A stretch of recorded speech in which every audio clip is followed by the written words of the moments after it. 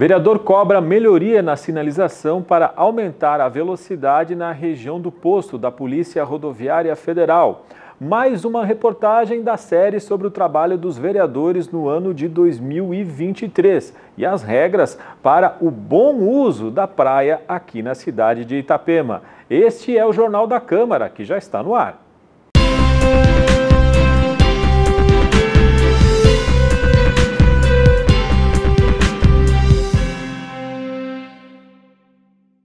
Olá, seja muito bem-vindo a mais um Jornal da Câmara Municipal de Itapema.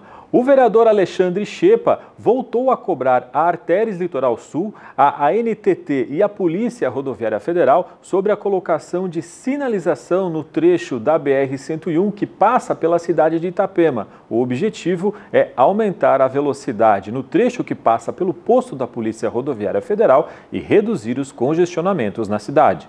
Se tem uma coisa que desagrada moradores e os turistas que visitam Itapema, é o trânsito da cidade e o trânsito da BR-101, principalmente aqui no trecho da Polícia Rodoviária Federal. Essa semana, o vereador Alexandre Chepa enviou um ofício a Arteres pedindo sinalização no letreiro luminoso e instalação de placas indicativas da velocidade permitida aqui para esse local. O pedido foi prontamente atendido e a fluidez do trânsito já começa a melhorar aqui nesse ponto. O ofício enviado à Artéres Litoral Sul no dia 16 de janeiro solicita que a concessionária inclua no painel de LED informações sobre a velocidade permitida para veículos leves e pesados, além da instalação de mais placas com a informação. O painel eletrônico já está informando a velocidade permitida, que é de 100 km por hora para os carros e 80 para os caminhões, mas o vereador ainda aguarda a instalação de mais placas de sinalização. Com essa mudança solicitada pelo vereador Alexandre Chepa, os motoristas já estão trafegando em um fluxo mais rápido no trecho da Polícia Rodoviária Federal. E para quem está frequentando as praias aqui da cidade, há uma série de regras que precisam ser observadas. Boa parte delas são leis aprovadas aqui na Câmara de Vereadores. Você sabia que você não pode colocar um guarda-sol para reservar espaço na areia? Nos dias de sol, a faixa de areia é disputada nas praias de Itapema. Muitas famílias chegam cedo para conseguir espaço para colocar suas cadeiras e guarda-sóis. Algumas optam pelas tendas, o que é permitido. Porém, as tendas não podem ficar vazias, reservando lugar na faixa de areia. Conversamos com o diretor de fiscalização, Jefferson Patrick Rabock, para entender como é feito o trabalho da fiscalização.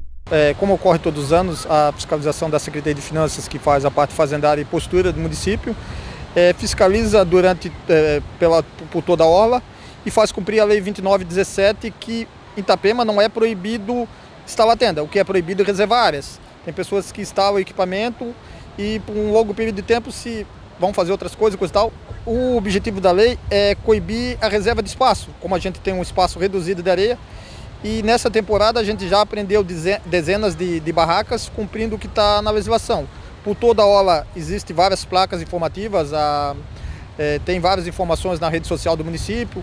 Para recuperar uma barraca apreendida, o proprietário precisa pagar multa de 100 UFRM na primeira vez ou 200 UFRM em caso de reincidência, o que equivale a 440 reais ou 880 reais. De acordo com a legislação, é, a pessoa tem 30 dias para reaver o equipamento apreendido. Caso ela não venha buscar o equipamento, a gente encaminha com o, nos outros produtos, uh, outros produtos apreendidos durante a temporada, encaminha para assistência social para doação às entidades conforme conforme está previsto na legislação é, Código de Postura e, e demais legislações passam. Né? Pela lei, também não é permitido o aluguel de tendas na orla da praia. E a seguir você acompanha mais uma reportagem da série sobre o trabalho dos vereadores no ano de 2023. Nossa equipe está aqui no gabinete do vereador Léo Cordeiro para conversar com ele sobre os destaques de 2023. Esse início de ano é uma época boa, né, Léo, para a gente refletir sobre o que passou e também começar aí a projetar novas, novas coisas, novos pedidos, sempre atendendo a população. Então, eu queria que tu falasse para a gente quais foram os teus destaques de 2023. Exatamente, Gabi. Foi um ano bem intenso de trabalho aí 2023 em várias áreas do município, né? Posso citar a questão da mobilidade urbana fiscalizando as obras é, das agulhas, ligação interbairro. Eu tive aí uma semana, do dia 11 ao dia 17 de setembro, fazendo um giro com o Léo pela mobilidade urbana. Né, tivemos em vários pontos do município, destacando algumas obras que podem ser projetadas e que trarão bastante benefício. Como também tivemos bastante esforço na saúde, inclusive convoquei o secretário de saúde para estar aqui explicando né, um possível, uma possível irregularidade no processo de contratação da empresa para administrar a UPA, que até o momento não está funcionando 24 horas. É, conversamos também sobre a questão de novos financiamentos para o hospital, que até o momento também não está pronto.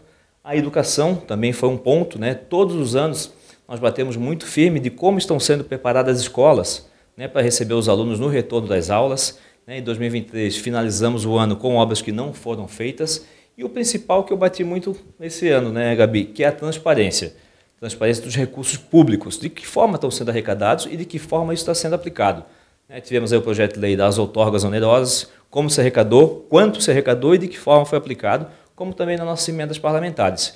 É dessa forma, com a, a transparência dos recursos públicos, nós sabemos se o dinheiro dos seus impostos está sendo bem investido. Então, é dessa forma que nós finalizamos o 2023 e que 2024 estaremos ainda com mais força, com mais trabalho, com mais intensidade para entregar sempre o melhor para a nossa população de Itapema. Léo, a gente pode dizer então que tu cumpriu com o teu papel principalmente de fiscalizador aqui no município.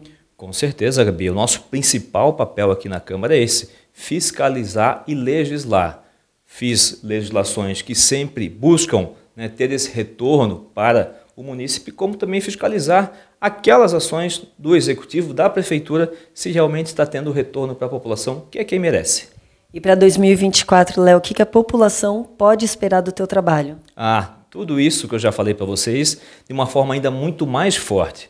Né? Esse ano é um grande ano, sabemos que temos novos desafios, é, de todas essas situações, UPA não funcionando ainda, hospital não funcionando ainda, mobilidade um caos. Então nós pegaremos todas essas pautas de 2023 e bateremos, fiscalizaremos né, e buscaremos também sempre soluções cada vez mais efetivas para Itapema.